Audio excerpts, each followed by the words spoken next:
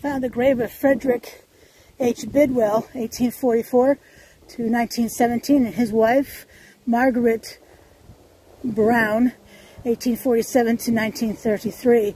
He was a reverend. He gave the eulogy for at least one of the American Civil War men I have filmed today here at Prospect Street Cemetery in East Middlebury, Vermont. So, just wanted to film that.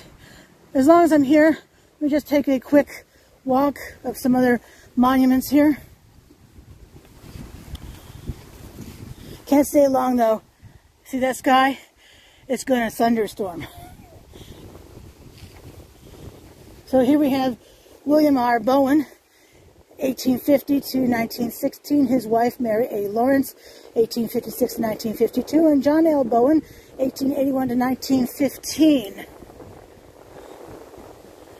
And I like the bee up here.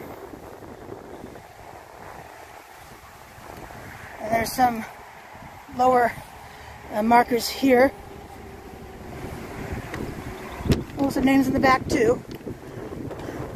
Ellsworth Dolan, 1862 to 1935. His wife, Mattie E. Bowen, 1874-1946. I don't know that first. I don't know this name right here. Or maybe it's J.D. Maybe it's J.D. Bowen, 1876-1942. No B on this side though.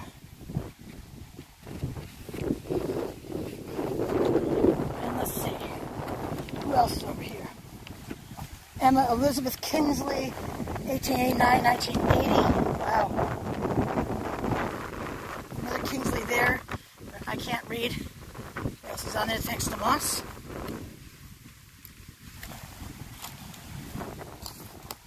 Army, Navy, Hope. So, Spanish war veteran.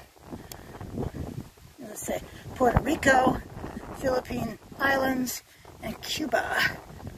Wish I knew more about Kirk.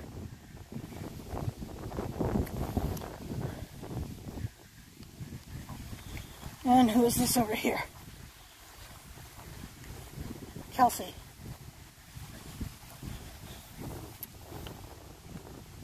It just says U.S. That's quite the monument. Let's see, what does it say on the backside?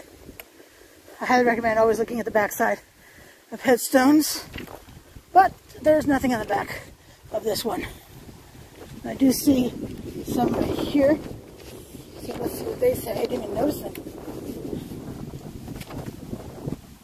Alright, so we have Lorinda Varney, his wife, 1864 to 1943, I think that says. And William C. Kirby, 1856 to 1936.